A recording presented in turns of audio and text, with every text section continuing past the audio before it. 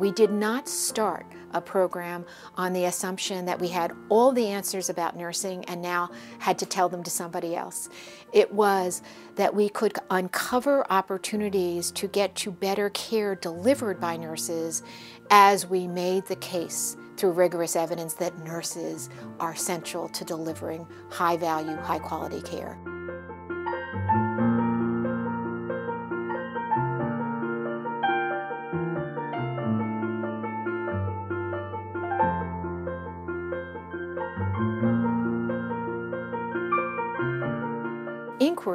Has paid as much attention to how it is that we get to new knowledge as it has with how it is that we can make knowledge have an impact in the real world. That understanding which nurses always had um, is something that the INQRI program is trying to kind of move up to the next level, move it from intuition to evidence basically. I think the interdisciplinary nature of it is very important too. It's not just nurses studying nurses and patient outcomes, but it's our other partners in other disciplines, researchers from those disciplines, working with us um, to also give us their perspective on how we can best um, develop and, and conduct this rigorous research.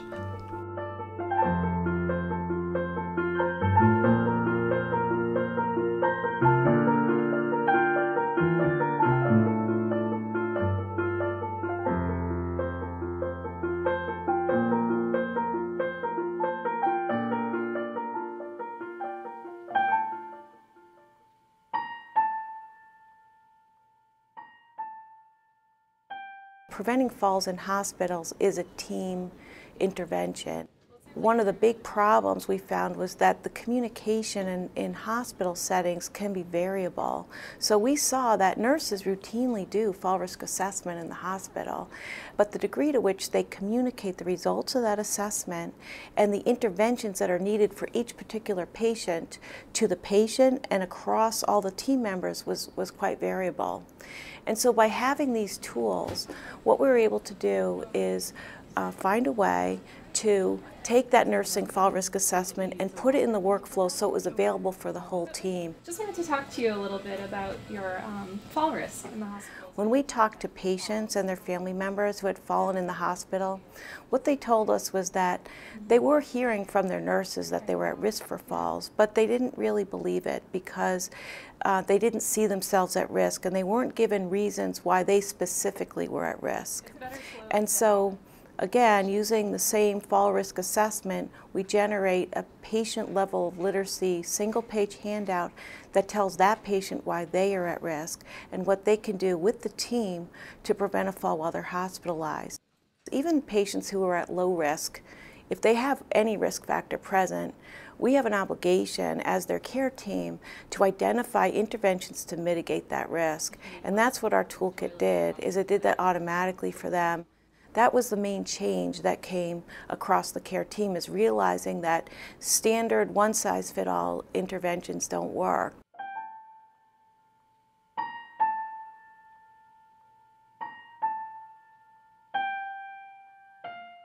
This study really focuses on helping nurses, pharmacists, and other care delivery people in hospitals move beyond a fall risk score and think about risk factors that patients have and then select interventions specific to those risk factors. If someone has gait issues, we are asking people to really think about do they need a physical therapy referral? Are we getting people up three to four times a day to walk? You will see in some of the patient rooms a big whiteboard in which the patient's fall risk factors are actually listed for that patient. Uh, we developed a set of quick reference guides.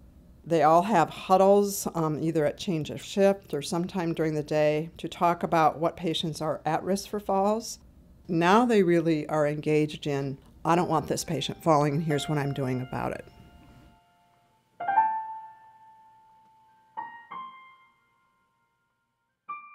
So we put together a study to better investigate whether rural hospitals were using the best uh, heart failure practices and decided that really the best approach for an initial study was to use a quality collaborative approach to help rural hospitals implement best heart failure practices. and also to link with colleagues about how can we really make it happen here? How can nurses make a difference right here in the rural setting? It was absolutely amazing because once they were using the tools and understanding the power that nursing has to help make care better for these practice environments, nurses engaged.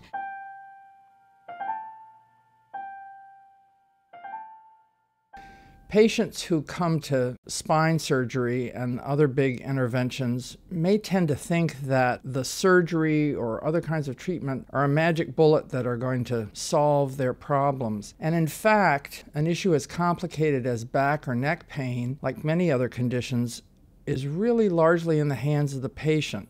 We devised a brief intervention to assist patients after spine surgery in managing their own pain. So the wheel has issues on it like activity, medication, exercise, sort of the activities that can affect back pain, and patients can use the color wheel to say which of those activities is the most important to them. For example, it's good to be outside, it's good to get away from your desk, it's good to take a walk, the act of smiling can lift mood. You can try the technique of stopping and taking two deep breaths. So it's setting the patient up for success rather than failure, and it's putting the decision about how much to do and what kinds of things to do in the hand of the patient.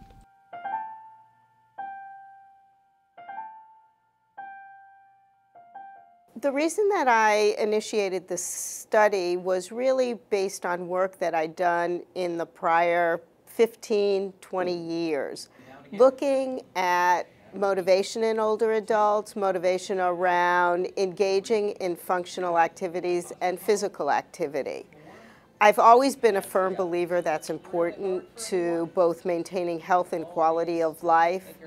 And we well know that in the majority of Americans, let alone older Americans, people don't engage in enough physical activity. With older adults, it also involves function. And so seeing this and seeing what was going on first in rehab facilities and nursing homes and then in assisted living as assisted living began to grow, I really came to notice that, oh my gosh, it's even worse in assisted living. And point if you live here, this is the philosophy here. We're not here just to put your shoes on. We're here to help you maintain that ability yourself. The function focused care approach is a perfect fit with nursing and actually where nursing is going today because I believe it helps nurses to work at their full scope. Nurses can follow orders, but they can also work to optimize the individual's function and physical activity because of the impact that has on their overall health. We spend the most time with that individual, and time is what's needed here.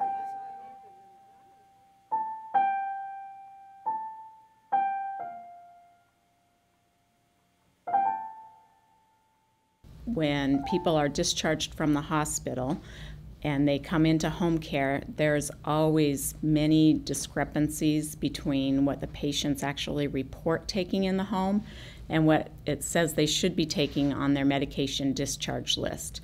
And in fact, they often have several different lists one that the home care nurse gets from the hospital, one that the patient gets from the hospital, maybe one that they had before hospitalization, and they all have multiple different medications that the patient's supposed to be taking and they don't match up. So, our goal with this study was to try to help home care nurses efficiently identify those differences and resolve them to try to prevent rehospitalizations and emergency room visits related to adverse drug events. We have a pharmacist who has a clinical practice where he goes into the home to visit patients and do medication consultation with the patients right in their home. These are generally really high risk patients and they have lots and lots of medications and lots of questions about their medications. And the best place we think for somebody to use those skills that they've developed as a pharmacist and the knowledge that they've gained is in the home talking to patients about what they take on a daily basis.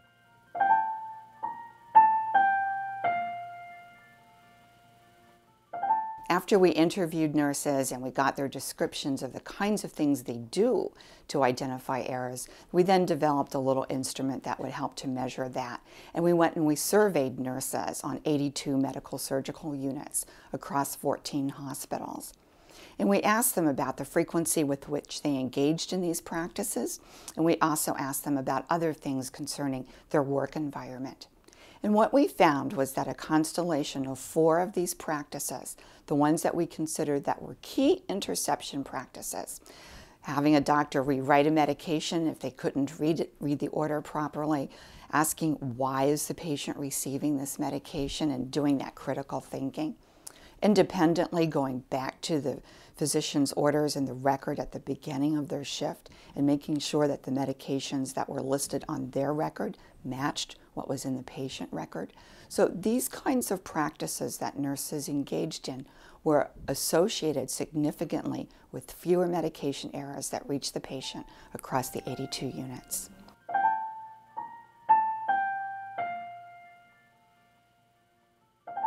So the work environment, which is one in a hospital setting particularly noisy, many distractions, and whenever your attention is diverted, there could be a danger there. And some of it is really back to the basics.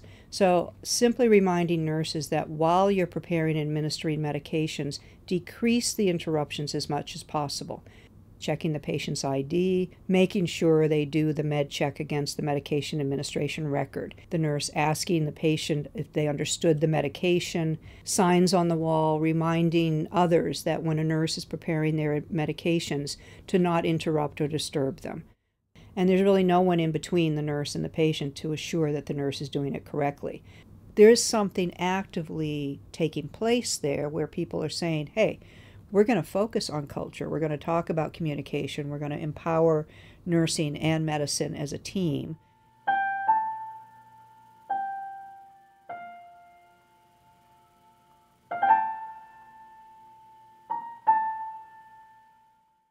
Although we've known for years that delirium is a really big problem in the intensive care unit, up until the last decade or so, we really had no appreciation for how devastating this disorder could be on a person and their family. So, meaning that if people experience an episode of delirium while they're in the hospital, they're at much higher risk for having long term problems in their cognitive ability. The actual intervention that we're studying is called the ABCDE bundle. And the A in the ABCDE is awakening, the B is breathing, C is coordination, D is delirium, and E is early mobility.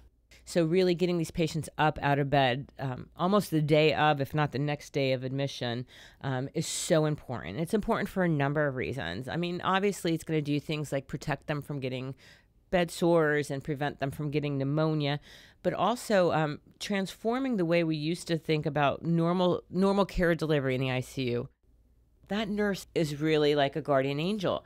She's protecting the patient from all the harms that surround what we do when patients are sick. So, at all levels, the goal here has been to say, who is it we need to be bringing around the table today to help uh, nurses position themselves for making an impact today. And I think that that's been one of the great joys of this program. Great minds, great scholars, multidisciplinary perspectives on big issues, bringing those individuals together with the people right from the beginning who are going to uh, make decisions about how to use that knowledge. I think for nursing, it's been a great story. But most importantly, it's been an extraordinarily important story for the people that we serve.